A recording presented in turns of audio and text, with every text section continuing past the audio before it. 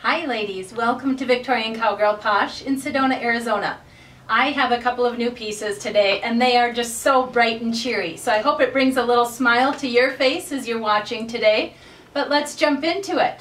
So this is a line that I absolutely am just, I don't know, I'm falling in love with, I think, more and more as I see more pieces because it can be everything from very um, classy and elegant looking to just something like this where it's a little bit more, it's not necessarily whimsical, but it's just light and it's flowy and it's just a fun and cheery group of colors that she's put together in this. So the dress that I have on in the back is just going to be this pink floral pattern with the little teal or light turquoise colored accents and those ruffles really showcase.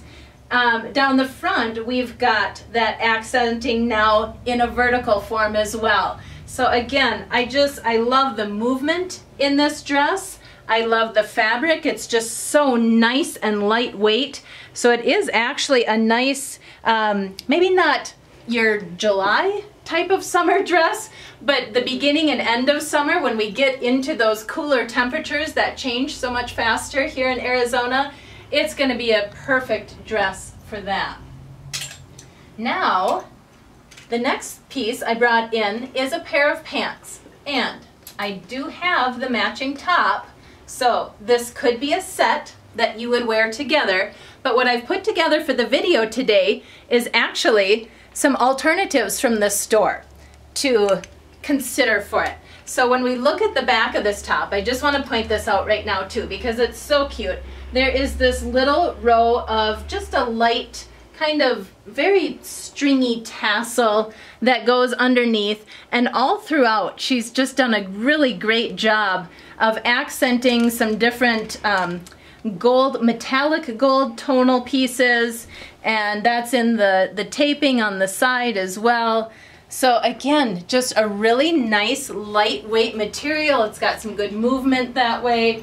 It's got some great colors to mix and match.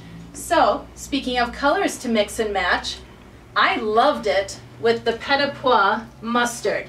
Now again, this is not your summer outfit. This is going more into your spring or maybe even a fall, the early bits of the fall. But I thought that was a great color for it. You can do something just a little bit um, more traditional in the summer. And this is what I'll have on for the still photo. Just a loose and airy tank top in a neutral.